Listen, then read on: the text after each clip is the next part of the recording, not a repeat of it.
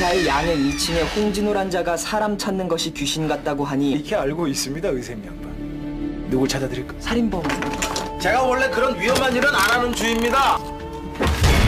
그러니까 된 말은 우연히 주워온 시신이 알고 보니 내부 대신 자식이다. 아마 죽인 다음 이리로 옮겼을 텐데. 의샘 양반 바퀴 자국입니다 외발 수레로 여기까지 옮겼나 봅니다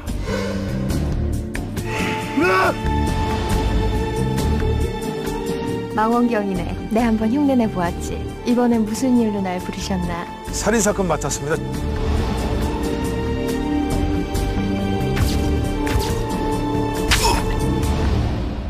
이게요 그 모루이네라는 건데요 아편이나 진배 없는 거거든요 그 양반이 그거 없이는 하루도 못 사는 양반인데 나 얼 전에 마지막으로 왔다 가고 나는 그 뒤로 나는 못 봤어 이게 경무국장 입속에 있었거든요 단서가 될 수 있지 않을까요?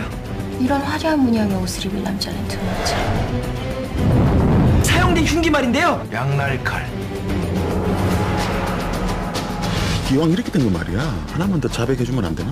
왜 그래요 당신 안 했잖아요 당신이 들리지 않았잖아요 원하는 게 뭐야? 3일 진범을 구경시켜줄게.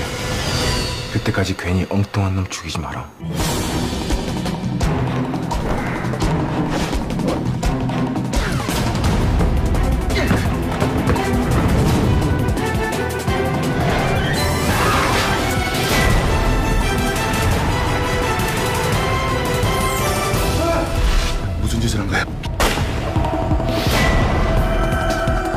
개수작이야. 못다한 일을 마무리하기 위함이지.